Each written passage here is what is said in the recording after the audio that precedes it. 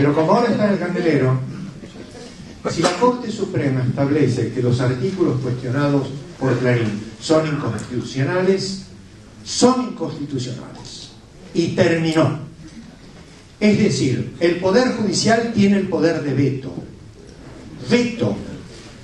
En la Constitución nos enseñaron que tiene el poder de veto la presidenta, pero vemos que no es un poder de veto definitivo, porque si insiste el Congreso en, el, en aquello vetado, el Poder Ejecutivo se lo tiene que tragar. Pero quien tiene el poder de veto definitivo es el Poder Judicial.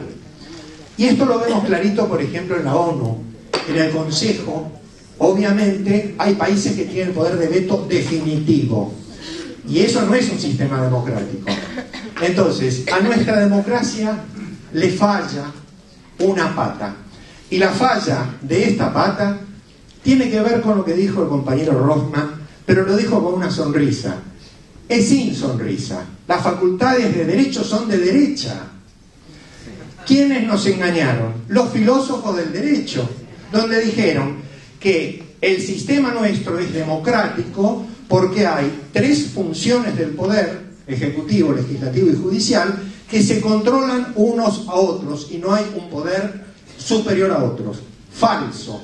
Esto lo explicó Josami cuando habló eh, sobre el libro El Federalista, este, que era el fundamento filosófico de la Constitución de Estados Unidos.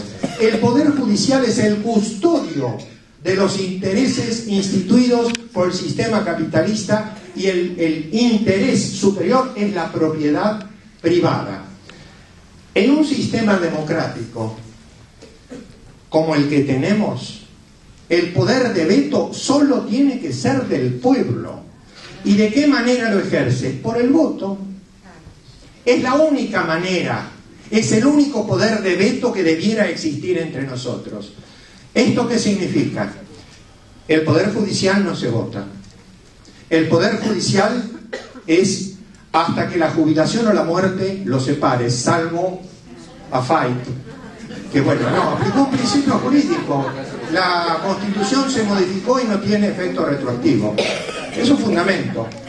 Entonces, yo pienso que para que nuestro sistema democrático realmente prospere, dentro de un sistema capitalista con el que podemos no, estar totalmente de acuerdo con que sea capitalista, pero sí es justicialista, bueno, apoyamos, digamos, apoyamos este gobierno. La votación tiene que entrar también, las elecciones tienen que entrar también el Poder Judicial. Esto significa una modificación de la Constitución, es decir, estoy hablando como si realmente vamos a tener 10 años más de esta línea de gobierno. Yo sé que estas son palabras para el futuro, que no son para la coyuntura, pero tenemos que saberlo. Si la Corte dice que no, es la última palabra. Gracias.